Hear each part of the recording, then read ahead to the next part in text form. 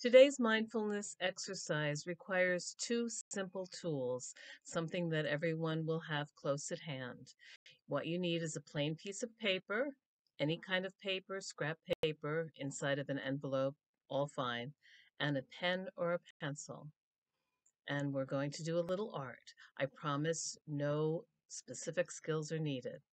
I will demonstrate the drawing digitally and you can follow along on your pencil and paper. To get started, bring your pen or pencil to the center of your page and just start drawing. A spiral goes around and circles back around on itself. Now don't worry about perfection. If you get close, end it there and try another one.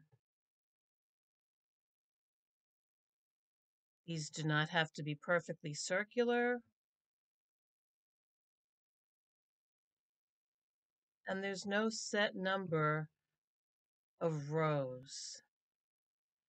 But there's something about the act of drawing a spiral. It's a universal shape that helps build energy as you go. Think of labyrinths, walking through them. It's a little journey of mindfulness.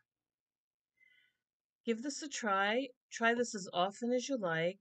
I think you'll find it relaxing. And if you wouldn't mind, hang on to this drawing for our next mindfulness minutes. Thanks for joining me.